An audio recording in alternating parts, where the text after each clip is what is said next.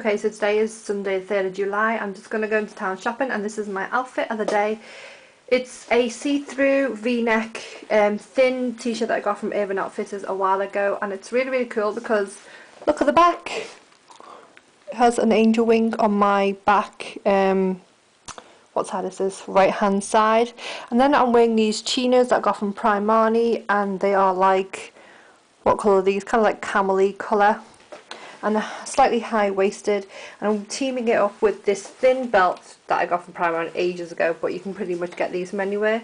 As for my bag I'm wearing my, I'm using my um, June crocodile leopard print style padlock bag that's in my June haul video and also as for shoes I'm wearing these flat round-toed um, leopard print ones that I got from China. It's got like really really pretty flower at the front and as for my ring I'm just wearing that tag one that I got from H&M a while back.